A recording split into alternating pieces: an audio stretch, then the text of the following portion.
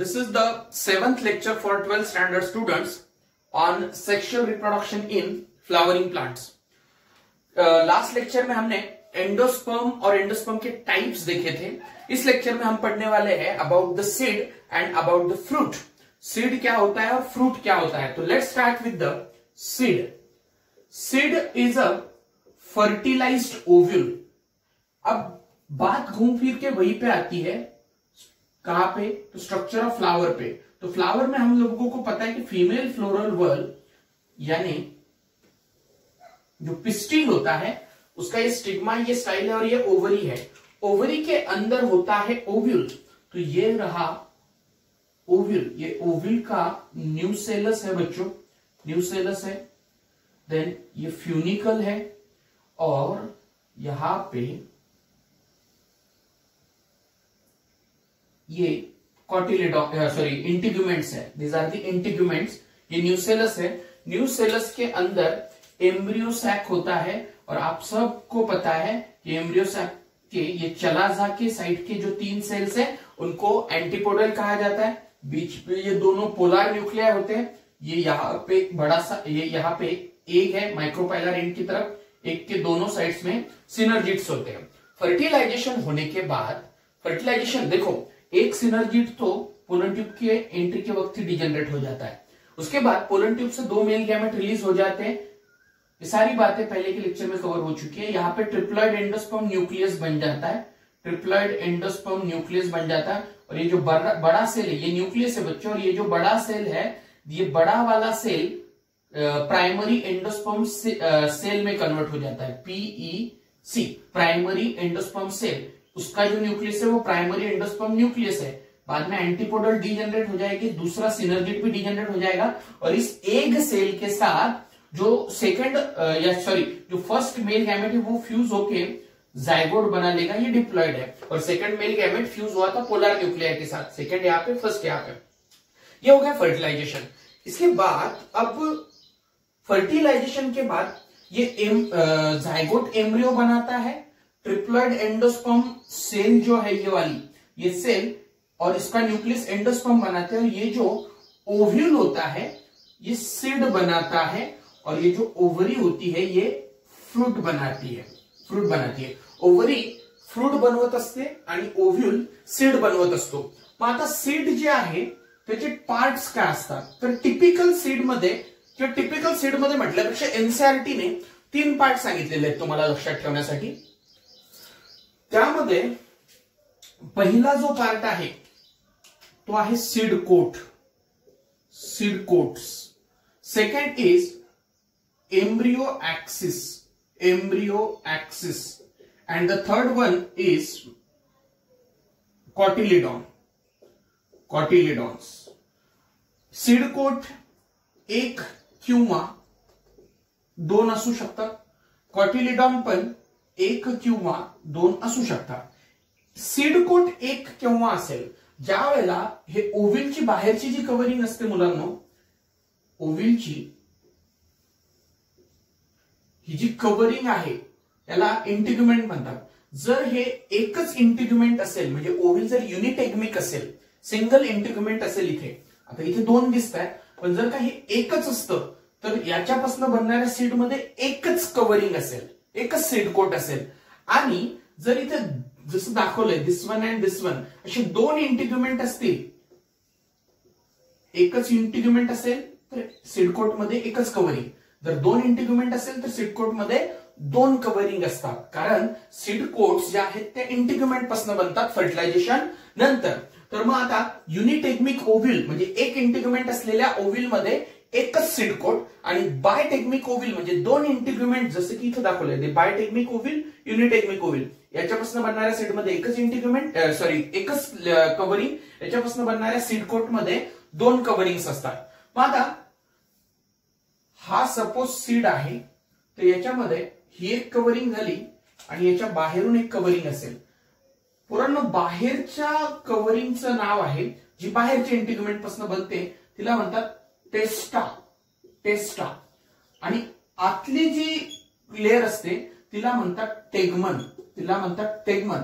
कधी लक्षात ठेवा जी बाहेरची कव्हरिंग असते कुठे ती स्ट्रॉंग असायला पाहिजे मजबूत असायला पाहिजे रिजिड असायला पाहिजे जेणेकरून कुठल्या पण डॅमेज पासन whether it is a mechanical chemical anything कसल्याही डॅमेज पासन आतल्या स्ट्रक्चर्सला प्रोटेक्शन मिळावं यासाठी अॅनिमल्समध्ये असो की प्लांट्समध्ये असो आउटर कव्हरिंग जी आहे ती ऑलमोस्ट प्रत्येकच जागी ऑलमोस्ट एखाद दुसरे एक्सेप्शन सोडले तर प्रत्येकच ठिकाणी ती टफ रिजिड मजबूत स्ट्रॉंग असते. मग आता ही तशीच टेस्टा पण जी आहे ते आउटर आहे त्याच्यामुळे ती स्ट्रॉंग आहे रिजिड आहे टफ आहे.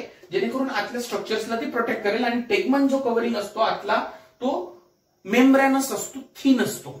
याच्या आतमध्ये याच्या आतमध्ये नीट लक्ष द्या. काय होतं की इथे एम्ब्रिओपासनं वरती एक पार्ट निघतो खाली एक पार्ट निघतो आणि दोन बाजूला डायकॉट सीड असेल तर दोन कॉटिलिडॉन्स असतात आणि मोनोकॉट सीड असेल तर एक कॉटिलिडॉन असतो. पोरांनो इथं हा एंडोस्पर्म आहे. ई इज फॉर एंडोस्पर्म नीट लक्ष द्या मी काय सांगतो हा एंडोस्पर्म आहे. त्याच्यानंतर सी इज फॉर कॉटिलिडॉन कॉटिलिडॉनच्या वरचा हा जो पार्ट असतो E is for epicotyl E is for epicotyl खालचा जो पार्ट असतो त्याला म्हणतात हायपोकॉटिल इपिकॉटिलचं जे एंड आहे त्याला म्हणतात प्लिम्युल आणि प्लिम्युलपासून पोरांनो पुढे शूट सिस्टीम डेव्हलप होते शूट सिस्टीम देन हायपोकॉटिलचं जे एंड आहे त्याच्या त्याला रॅडिकल म्हणतात. आणि रॅडिकलपासून रूट सिस्टीम येत असते. परत एकदा रिवाईज करतो आणि कन्फ्युजन असतं बऱ्याच जणांना. मोस्टली जे फ्रेशर्स आहेत त्यांना तर हा प्रकार म्हणजे नवीनच असेल पहिल्यांदाच ते ऐकतात. पण जे रिपीटर असतात जे रिपीटर्स आहेत त्या रिपीटर्समध्ये कॉटिलिडॉन आणि एंडोस्पम याच्यामध्ये कन्फ्युजन असतं. कारण एंडोस्पममध्ये पण रिझर्व्ह फूड असतं आणि कॉटिलिडॉनमध्ये पण रिझर्व्ह फूड असतं. या दोन पूर्णपणे वेगळ्या गोष्टी आहे. हा जो आजूबाजूचा स्ट्रक्चर आहे आणि एंडोस्पम जो आहे लक्षात ठेवा एंडोस्पम हा अँजिओस्पममध्ये डिप्लॉइड आहे. आणि कॉटिलिडॉन डिप्लॉइड आहेत. कॉटिलिडॉन जे असतात ते डिप्लॉइड असतात. कॉटिलिडॉन झायगोटपासून बनणाऱ्या सेल्सपासून बनलेले असतात. म्हणजे झायगोटच्या डिव्हिजनपासून जी काल आपण एम्ब्रिओनिक डेव्हलपमेंट बघितलीये तर त्याच्यापासून कॉटिलिडॉन बनत असतात. आणि एंडोस्पॉम जो आहे तो ट्रिप्लॉइड असतो. इथं पण मी क्लिअरली सांगितलेलं आहे. नीट लक्ष द्या कन्फ्युज होऊ नका. कॉटिलिडॉनमध्ये पण रिझर्व्ह फूड आहे आणि एंडोस्पॉममध्ये पण न्यूट्रिशनसाठी रिझर्व्ह मटेरियल किंवा नरिशमेंट हे कॉटिलिडॉन असो की एंडोस्पॉम असो हे डेव्हलपिंग एम्ब्रियोला नरिशमेंट देण्यासाठीच बनलेले असतात. तर हा आजूबाजूचा जो पोर्शन आहे तो एंडोस्पॉमचा आहे. हे कॉटिलिडॉन आहे. याच्यात पण रिझर्व्ह फूड असतं. वरचा पार्ट जो कॉटिलिडॉनच्या त्याला इपिकॉटिल म्हणतात. त्याचं एंड प्लिम्युल असतं. प्लिम्युल जे आहे ते शूटमध्ये कन्वर्ट झालेलं असतं. खालचा जो एंड आहे त्याला हायपोकॉटिल खालचा जो पोर्शन आहे त्याला हायपोकॉटिल म्हणतात लक्षात ठेवा. इपी म्हणजे वरती कॉटिल म्हणजे कॉटिलिडॉन तर जे कॉटिलिडॉनच्या वरती आहे ते इपी कॉटिल आणि त्याचा एंड म्हणजे प्लिम्युल पी फॉर प्रिम्युल याच्यापासून सीड जर्मिनेशन नंतर शूट निघेल. हायपो म्हणजे खाली कॉटिल म्हणजे कॉटिलिडॉन तर कॉटिलिडॉनच्या खालचा पोर्शन हायपोकॉटिल त्याचं जे एंड आहे ते radicle R for radicle R is for root तर रॅडिकलपासून पुढे रूट निघेल. देन देन एक बार रिकॉल कर लो आप लोग। मेरे साथ, क्योंकि डायग्राम फिर से ड्रॉ करना मेरे लिए भी ज़रूरी है, उसमें कुछ चीज़ें और एक्सप्लेन करनी है। तो एक सीड कोड है। यूनिटेग्मिक अगर ओविल रहा तो एक सीड कोड बायोटेग्मिक रहा तो दो seed coat outer testa inner tegmen embryo का ये ऊपर वाला हिस्सा इपिकॉटिल ये इपिकॉटिल इसका एंड प्ल्यूमिल नीचे वाला हिस्सा हाइपोकॉटिल और उसका एंड रेडिकल और इसके दोनों साइड सेकॉन रहेंगे। अगर डायकॉट सीड है तो दो कॉटिलिडॉन और मोनोकॉट में एक कॉटिलिडॉन रहता है। मोनोकॉट का कॉटिलिडॉन कैसा होता है? स्कूटेलम मतलब उस कॉटिलिडॉन को स्कूटेलम कहते हैं। वो क्या है वो? आ, हम स्लाइड पे देखेंगे इसके बाद। अब ये आसपास का जो स्ट्रक्चर है उसे हमने कहा एंडोस्पर्म एंडोस्पर्म यहाँ पे दो बातें हैं। ऐसा इट इज़ नॉट कंपल्सरी कि हर सीड में एंडोस्पर्म होगा ही। सीड में एंडोस्पर्म होगा ही, ऐसा नहीं होता। मैच्योर सीड की बात कर रहा हूँ मैं। बहुत से ऐसे सीड होते हैं कि जिनके डेव्हलपमेंट के दौरान, म्हणजे सीड बनत असताना एम्ब्रियोनिक डेवलपमेंट के दौरान एम्ब्रियो जब डेवलप होता है, तब बहुत से सीड्स जो है, वो एंडोस्पर्म यूज़ कर लेते हैं। तो उसमें होगा क्या कि मैच्योर सीड में एंडोस्पर्म नहीं दिखता है। मैच्योर सीड में एंडोस्पर्म दिखेगा नहीं। तो जिन प्लांट्स के मैच्योर सीड में एंडोस्पर्म नहीं होता है, उन सीड्स को नॉन एंडोस्पर्मिक सीड या फिर एक्स अल्ब्यूमिनस सीड कहा जाता है। मतलब जिनमें एंडोस्पर्म नहीं रहेगा नहीं रहेगा मतलब यूज़ कर कर चुका होगा या फिर ये जो एम्ब्रियो है, उसने वो इस एंडोस्पर्म को खा लिया होगा यूटिलाइज कर लिया होगा। तो ऐसे प्लांट के सीड्स को एक्स एल्बुमिनस या नॉन एंडोस्पर्मिक सीड कहा जाता है। एग्ज़ाम्पल याद रखना है pea beans and groundnut pre pea bean and groundnut जैसे ग्राउंडनट सारखे जे प्लांट सीड नॉन एंडोस्पर्मिक ज्यांच्या मॅच्युअर सीडमध्ये पण म्हणजे एंडोस्पॉम पार्शियल यूज झालेला असतो किंवा युजच झालेला नसतो. म्हणजे थोडक्यात काय? की एंडोस्पॉम उरलाय. एम्ब्रियॉनिक डेव्हलपमेंटच्या दरम्यान एम्ब्रियॉनिक डेव्हलपमेंटच्या दरम्यान काही पार्ट एंडोस्पॉमचा यूज झालाय. पण तरी एंडोस्पॉम मॅच्युअर सीडमध्ये शिल्लक आहे. तर मॅच्युअर सीडमध्ये जर दिसत असेल तर त्याला त्या सीडला एंडोस्पर्मिक सीड किंवा अल्ब्युमिनस सीड, असं म्हटलं जातं. अल्ब्युमिनस सीड. एक्झाम्पल इथेच माझ्यासोबत लक्षात ठेवा. Maize, wheat, rice, barley coconut, and castor. Example इथेच मेमराईज करून घ्या. व्हिडिओ पॉज करून किंवा रनिंग माझ्यासोबत लक्षात ठेवा.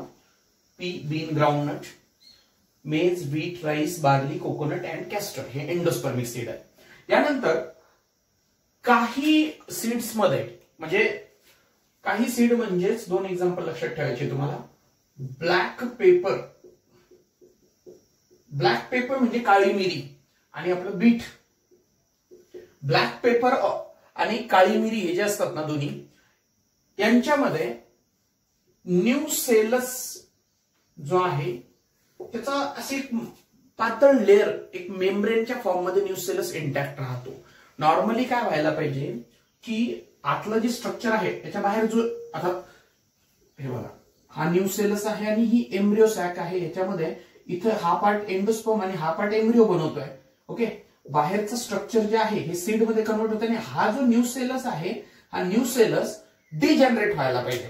पण ब्लॅक पेपर ब्लॅक पेपर आणि बीट ब्लॅक पेपर म्हणजे काळी मिरी. ब्लॅक पेपर आणि बीट असे एक्झाम्पल्स आहेत की ज्यांच्यामध्ये ही न्यू सेलस नावाची जी लेअर एम्ब्रिओसॅकच्या बाहेर ती न्यू सेलस नावाची लेअर एका थिन मेम्ब्रेनच्या फॉर्ममध्ये इंटॅक्ट राहते आणि त्या इंटॅक्ट न्यू सेलसला म्हणतात nucellus remain remains intact in the form of a membrane. और उस मेम्ब्रेन का नाम आपको याद रखना है नोन एज पेरिस्पर्म पेरिस्पर्म इथेच लक्षात ठेवा हा MCQ perisperm is the remnant of nucellus remnant of nucellus in the black pepper और बीट ब्लैक पेपर और बीट दोनों में दोनों में भी होता है नॉट और it is it should be and black pepper and beet दोनों एग्जाम्पल्स है कि जिसमें न्यूसिलस इंटैक्ट है। आगे बढ़ते हैं। मैच्योर सीड जो होता है सीड उसमें डिहाइड्रेशन होते जाता है। मतलब as seed matures it dehydrates और डिहाइड्रेशन के साथ साथ उसमें से पानी कम होते होते एक मैच्योर सीड में उसके मास के कंपेरेटिवली मतलब मास के प्रोपोर्शन में 10 से 15 परसेंट ही पानी रहता है। उसका जो वेट होगा, उसका जो मास होगा, उसके कंपेरेटिवली सिर्फ़ 10 टू 15 परसेंट पानी उसमें बचता है। एक फार सिंपल गोष्ट है। ओली मक्का वाळलेली मक्का। ओला गहू वाळलेला गहू. ते जे ओले सगळे असतात ज्याला उरड्यात खातात तुम्ही त्याचं वॉटर कंटेंट ते ज्युसी फील होतात बघा.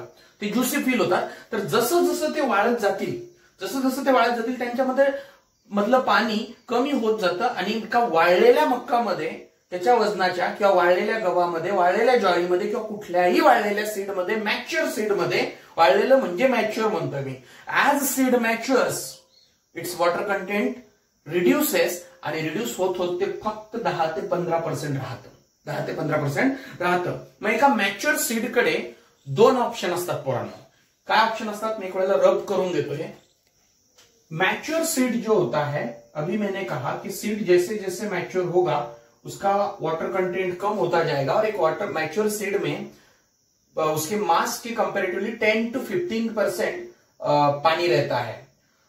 अब ये मैच्योर सीड जो है उसको अगर फेवरेबल कंडीशंस मिल जाए मतलब if conditions are favourable favourable conditions मिल जाए। फेवरेबल कंडीशंस माने उसको सफिशियंट मॉइस्चर या पानी मिल जाए, उसे ऑप्टिमम टेम्परेचर मिल जाए। पुरेसं म्हणजे त्याला हवं असलेलं टेम्परेचर फार महत्वाचा फॅक्टर असतो, कुठल्याही लिव्हिंग ऑर्गॅनिझमच्या बऱ्याचशा मेटाबॉलिक ऍक्टिव्हिटीमध्ये कारण आपले जे एन्झाईम्स असतात, ते एन्झाईम्स हे एका विशिष्ट ऑप्टिमम टेम्परेचरलाच काम करत असतात.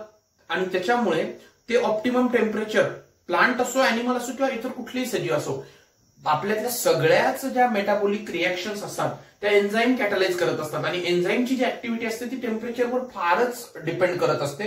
सो एक विशेष किंवा ऑप्टिमम विशिष्ट असं किंवा ऑप्टिमम टेम्परेचर त्याला मिळालं प्रॉपर पाणी मिळालं मॉइश्चर मिळालं आणि ऑक्सिजन मिळाला किंवा आणि याच्या व्यतिरिक्त बाकीच्याही कंडिशन सुटेबल आहे तर हे सीड जर्मिनेट होतं. आणि सीड जर्मिनेट झाल्यानंतर त्याच्यापासून प्लांटलेट निघतं बर्ड निघते छोटे आणि मग ते प्लांटमध्ये कंटिन्यू करतो ग्रोथ करायला. वरती इपी प्ल्युमिल निघतो प्ल्युमिलपासून शूट सिस्टीम आणि खाली रेडिकलपासून रूट सिस्टीम येते. अब कंडीशन अगर अनफेवरेबल है अनफेवरेबल अगर कंडीशन है तो सीड मरता नहीं। That is the important thing seed इंतज़ार करता है। कब तक? सालों तक भी कर सकता है। मीन डिपेंड महीनों तक भी कर सकता है। मतलब सीड जो है, एक तो बात यहाँ पे समझ लो, वो कब तक इंतज़ार करता है, वो स्पेसिस टू स्पेसिस वेरी होता है उसमें मैं बाद में बात करूँगा। लेकिन अब कंडीशन सपोज़ सीड मैच्योर हो चुका है और उसके आसपास के कंडीशन अनफेवरेबल है तो इन अनफेवरेबल कंडीशंस में सीड जो है वो मरता नहीं है इट सस्टेन और वो क्या करता है? खुद का मेटाबॉलिज्म जो है वो अंदर डाउन कर लेता है खुद के मेटाबॉलिज्म को कम कर लेता है और डॉर्मेंसी में चला जाता है. डॉर्मेंसी क्या है? डॉर्मेंसी एक आ, ऐसी कंडीशन होती है जिसमें सिर्फ़ ज़िंदा है लेकिन जर्मिनेट नहीं हो रहा है. सिर्फ़ ज़िंदा है लेकिन जर्मिनेट नहीं होता है। वो इंतज़ार कर रहा है फेवरेबल कंडीशन का। और फेवरेबल कंडीशन आते ही वो फिर से लाइफ शुरू करेगा जर्मिनेट होगा और नए प्लांट में ग्रो कर देगा। तर सीड थांबतो तिथे। आणि गोष्ट म्हणजे याच्यामध्ये नोट करण्यासारखी आहे की कंडिशन्स अनफेवरेबल असताना, सगळं काही विपरीत असताना तिथं थांबणे, म्हणजे तिथे संपण्याच्या जागी थांबलेलं कधी बेटर असतं? तो थांबतो, ते सगळं टॉलरेट करतो आणि परत जर्मिनेट होतो. तर सीड आता ही डॉर्मन्सी काही सीड्समध्ये वर्षानुवर्षपर्यंत चालते. आणि त्याच्यानंतर पण ते पुढची नवीन फेवरेबल कंडिशन आल्यानंतर जर्मिनेट होऊन न्यू लाईफ स्टार्ट करत असतात. मग आता ही तर झाली सीडची स्टोरी व्हॉट अबाउट फ्रुट्स तर मी तुम्हाला सुरुवातीला सांगितलंय की जसं सीड जर्मिनेट होऊन सॉरी ओव्हिल फर्टिलायझेशन नंतर सीड मध्ये कन्वर्ट होतो, तसंच ovary converts to fruit ovary जी आहे ती फ्रूट मध्ये कन्वर्ट होत असते. फ्रूट ओव्हरीची जी वॉल आहे ना ओव्हरीची जी वॉल असते, ती फ्रूट वॉल मध्ये कन्वर्ट होते. त्याला पेरिकार्प असं म्हटलं जातं. पेरिकार्प पेरिकार्प पेरिकार्प जो आहे तो पेरिकार्प म्हणजे फ्रूटचा वॉल असतो. जो सीड ओव्हरी वॉलपासून डेव्हलप झालेला आहे. Depending on the nature or depending on this pericarp fruits can be fleshy fleshy or dry fruit जे आहे ते फ्लेशी किंवा ज्युसी असू शकतात. जसे की गव्वा ऑरेंज मँगो हे यांच्या थोडक्यात ज्यांच्यात गर निघतो. असा गर असलेले फ्रुट्स हे फ्लेशी असतात आणि गर नसलेले फ्रुट्स हे ड्राय असतात. जसे की मस्टार्ड मोहरी जे आहे तर मोहरीचं फ्रूट जे आहे ते ड्राय आहे. किंवा असं कुठले नट्स वगैरे जे असतात ते त्यांच्यामध्ये ड्राय फ्रुट्स असतात. तर ड्राय असू शकतं किंवा फ्लेशी असू शकतं. फ्लेशी म्हणजे ज्युसी फ्रुट्स ज्यांच्यामध्ये आंबा आपला आंब्याच्या आत जो गर आपण खातो. तर असे फ्रुट्स हे फ्लेशी असतात. देन दुसरं एक क्लासिफिकेशन आहे true fruit and false fruit बघा फ्रूटचं डिटेल क्लासिफिकेशन आणि डिटेल सगळे टाइप्स माझ्याच मॉर्फॉलॉजी ऑफ फ्लावरिंग प्लांट्सच्या टॉपिकच्या लेक्चर्समध्ये कव्हर होतील म्हणजे ज्यांना तो टॉपिक ज्यांचा राहिलेला त्यांनी आमचे मॉर्फॉलॉजी ऑफ फ्लावरिंग प्लांट्सचे लेक्चर बघावे तिथं फ्रुट्सचे सगळे टाइप्स आणि सगळे डिटेल्स कव्हर होतील. एनसीआरटीतले आणि एनसीआरटीच्या व्यतिरिक्त जे इम्पॉर्टंट आहे पण एनसीआरटीत नाही आणि तुम्हाला लक्षात ठेवायचे तसले सगळे टाइप्स ऑफ फ्रुट्स आणि फ्रुटचं एक proper classification morphology of flowering प्लांटच्या लेक्चरमध्ये कव्हर होईल. आता ट्रू फ्रुट्स आणि फॉल्स फ्रूट ते सांगण्याच्या अगोदर लक्षात ठेवा फर्टिलायझेशन नंतर मॅक्झिमम प्लांट्सच्या स्पेसिसमध्ये कॅलिक्स करोला हे फॉल होऊन जातात निघून जातात गळून पडतात. ट्रू फ्रूट जे फ्रूट फक्त आणि फक्त ओव्हरीपासून डेव्हलप झालेलं असेल जे फ्रूट फक्त ओव्हरीपासून डेव्हलप झालेलं असेल त्याला ट्रू फ्रूट म्हणतात. आणि ज्या फ्रूटमध्ये ओव्हरी व्यतिरिक्त इतरही काहीतरी पार्ट फ्लावरचा किंवा तिथल्या फिमेल फ्लोरल वर्ल्डचा इन्व्हॉल्व्ह असेल. म्हणजे ओव्हरी व्यतिरिक्त एखादा पार्ट जर इन्व्हॉल्व्ह असेल तर तिथं त्याला फॉल्स फ्रूट म्हटलं जातं. फॉल्स फ्रूटचे एक्झाम्पल लक्षात ठेवा.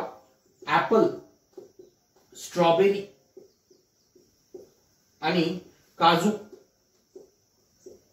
तर ऍपल स्ट्रॉबेरी आणि काजू हे फॉल्स फ्रूटचे फॉल्स फ्रूट म्हणजे ज्याच्यामध्ये व्यतिरिक्त इतर पार्ट्स फुलाचे फ्लावरचे फ्रूट फॉर्मेशन मध्ये पार्टिसिपेट करतात. जसं की ऍपलमध्ये थॅलॅमस जो आहे, फुलाचा थॅलॅमस तो थॅलॅमस फ्रूट फॉर्मेशन मध्ये पार्टिसिपेट करतोय. पाहता. तो this is the monocot seed monocot का सीड है ये.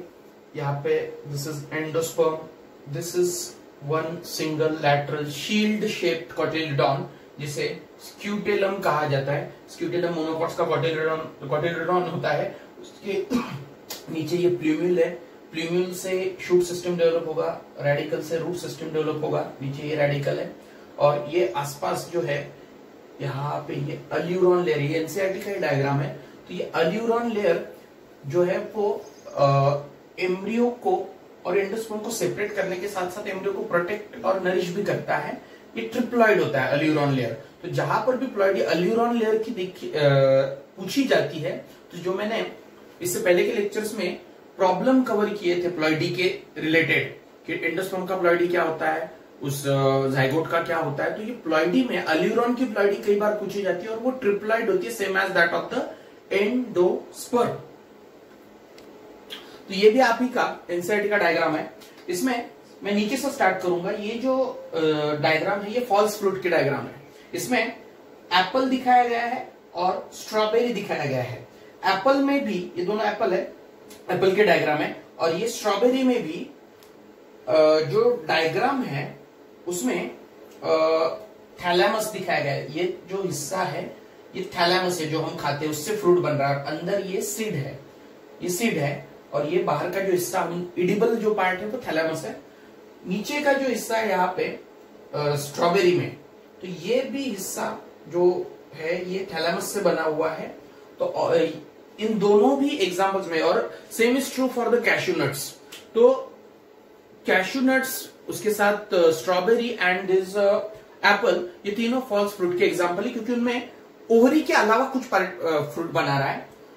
मोनोकॉट सीड जिसके बारे में हमने अभी बात की, स्कूटेलम फिर से बता रहा हूँ इंपॉर्टेंट पार्ट है। देन यहाँ पे, ये देखो, ये एंडोस्पर्म है। ये एंडोस्पर्म है, ये कॉटिलिडॉन है डायग्राम मेरे साथ ही याद कर लो। शूट अपाइकल मेरी स्टेम से शूट निकलेगा। ये रूट टिप है रूट टिप है। देन हाइपोकॉटिल है, जिसके, जिससे रूट सिस्टम डेवलप होता है। और ये सीड कोट है, बाहर का सीड कोट है। तो बाहर से सीड कोड ये दोनों कॉटिलिडॉन है एंडोस्पर्म है। ये दोनों कॉटिलिडॉन है। और एक बात माइक्रोपाइली जो है माइक्रोपाइली इंटैक्ट होता है। माइक्रोपाइली कई सारे सीड्स में एक छोटे से ओपनिंग के फॉर्म में इंटैक्ट रह जाता है और उसी माइक्रोपाइली से ऑक्सीजन अंदर आता है, पानी अंदर आता है, जो कि सीड में सीड जर्मिनेशन में मदद करते हैं। तो micropyle remains as a small opening in mature seed through which water and oxygen enters and which is helpful for the germination of the seed ये दो डायग्राम इसमें ये जो आसपास का डॉटेड जो हिस्सा है, ये डॉटेड वो एंडोस्पर्म है। और उसके बाद दोनों साइड से कॉटिलिडॉन है और उसके बाद नीचे जो है वो एम्ब्रियोनल एक्सिस है, जिसका ऊपर का हिस्सा शूट सिस्टम और नीचे का हिस्सा रूट सिस्टम डेवलप कर लेगा। देन सीड में अलग अलग एडेप्टेशन होते हैं। उससे पहले काफ़ी important point pollination pollination and fertilisation ये जो दो इवेंट्स हैं, जो सीड फॉर्मेशन से पहले हो रहे हैं, ये दोनों भी वाटर पे इंडिपेंडेंट है। ये दोनों इवेंट वाटर पे इंडिपेंडेंट है।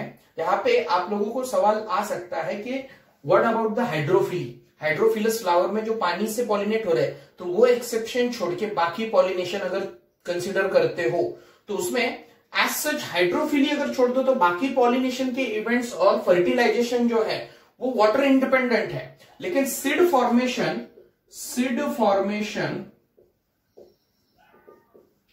is dependent on water water ये इंडिपेंडेंट है। पानी पे।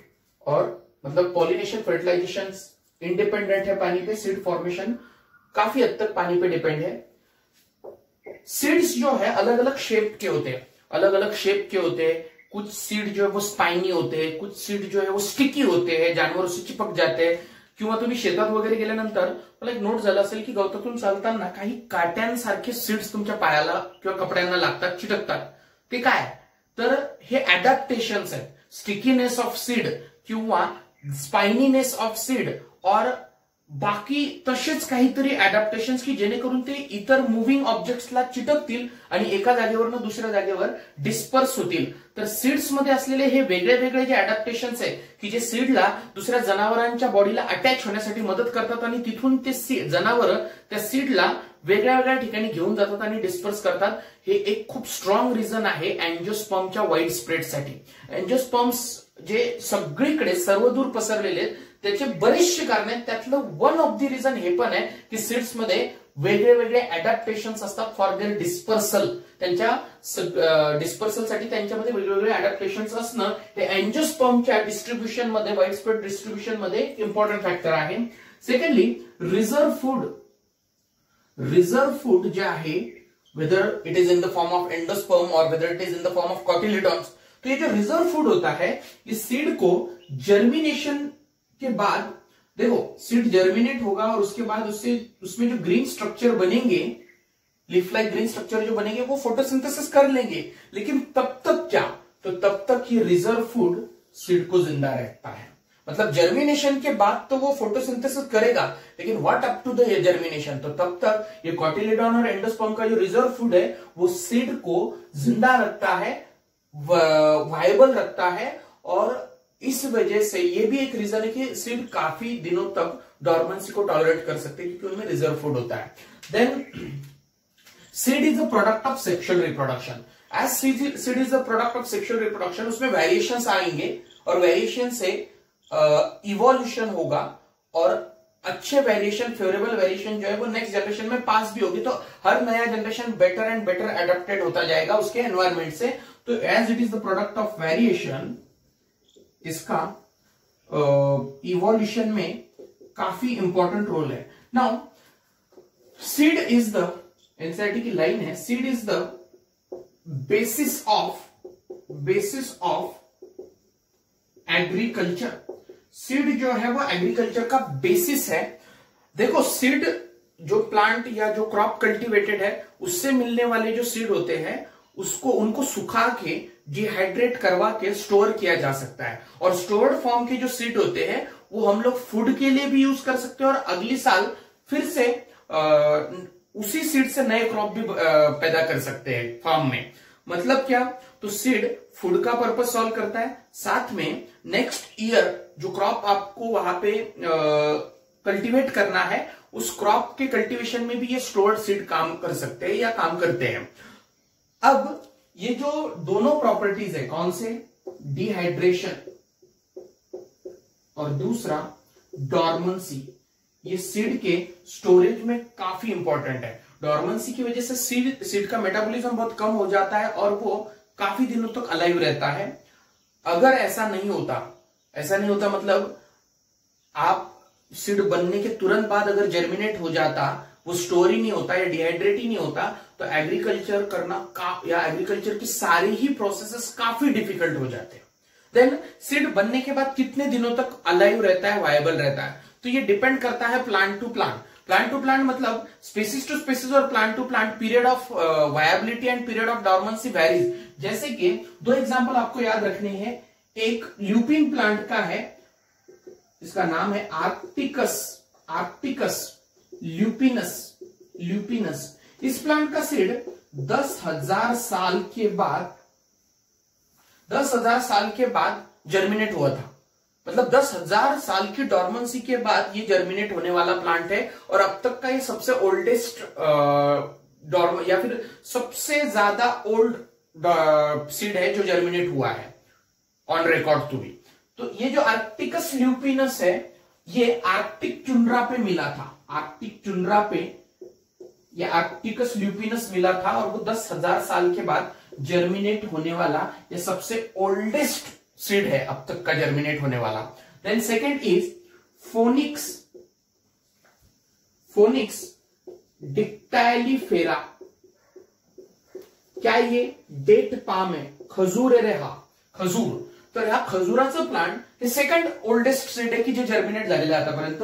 दोन हजार वर्ष जुनं सीड म्हणजे दोन हजार वर्ष डॉर्मन्सी मध्ये राहिल्यानंतरचं सीड जर्मिनेट झालेलं आहे. कुठे सापडलं होतं फोनिक्स डिक्टायलिफेरा जसं हा आर्टिक टुंड्रावर सापडला होता तसा हा एक राजा होता किंग हेरॉल्ड किंग हेरॉल्ड त्या किंग हेरॉल्डचं एक पॅलेस होतं डेड सीच्या जवळ नियर डेड सी हे डेड सी काय? तर डेड सी हा जॉर्डनमध्ये जॉर्डनमध्ये एक बेट किंवा समुद्रा टाईप समुद्राचाच एक पार्ट आहे. तर त्याला डेड सी का म्हटलं जातं? तर इथल्या समुद्राचं जे पाणी आहे ते प्रचंड खारं असतं प्रचंड खारं. आणि त्या सॅलिनिटीमुळं त्या खारेपणामुळं तिथं बरेचसे ऑर्गॅनिझम्स बरेचसे अॅक्वॅटिक जे ऑर्गॅनिझम्स आहे ते सर्व्हाइव्ह करू शकत नाही. म्हणजे असे ऑर्गॅनिझम जे इकडच्या समुद्रात सर्व्हाइव्ह करतायत तेवढ्या सॅलिनिटीला टॉलरेट करतायत ते या डेड सीला टॉलरेट नाही करू शकत. आणि त्या डेड सीच्या जवळ या किंग हेरॉडचं एक पॅलेस होतं. त्या पॅलेस ते पॅलेस जुनं आहे. तुम्ही जर त्याच्या इमेजेस बघितल्या मे बी मी नंतर तुम्हाला दाखवेलही त्याची इमेज एखाद्या वेळेला. तर ते पूर्णपणे काय म्हणतात त्याला तिथं अवशेष आहेत त्या पॅलेसचे शिल्लक. असं काही राजवाडा नाहीये. त्याचे अवशेष शिल्लक आहे आणि तिथं आर्किओलॉजिकल पुरातन विभागाचं जे एक्सकॅव्हेशन होतं संशोधन होतं त्या दरम्यान एक सीड सापडलं होतं खजुराचं. आणि त्या सीडचं एज कॅल्क्युलेट केलं गेलं तर ते जवळपास दोन हजार वर्ष जुनं होतं आणि त्याच्यानंतरही ते जर्मिनेट झालं. म्हणजे एवढे जास्त दिवस हे सीड डॉर्मन्सीमुळे व्हायबल राहतं. त्याचबरोबर त्याचबरोबर तुम्हाला तीन नावं लक्षात ठेवायचे जे एनसीआयटीत दिलेले. Orobanche Striga and Ficus Ficus या तिन्ही प्लांटच्या फ्रुट्समध्ये छोटे छोटे छोटे पण थाउजंड ऑफ द सीड्स असतात. आणि इतक्या प्रचंड प्रमाणात हे सीड्स असतात की जे आणि छोटे असल्यामुळे ते डिस्पर्सलसाठी इझी पण असतात. कोणते? ओरोबँकी स्ट्रायला अँड फिकस या लेक्चरमध्ये काहीही डाऊट्स असतील तर कमेंटमध्ये पोस्ट करा किंवा मला व्हॉट्सअप करा किंवा कॉल करा. आज आपण इथंच थांबू. थँक्यू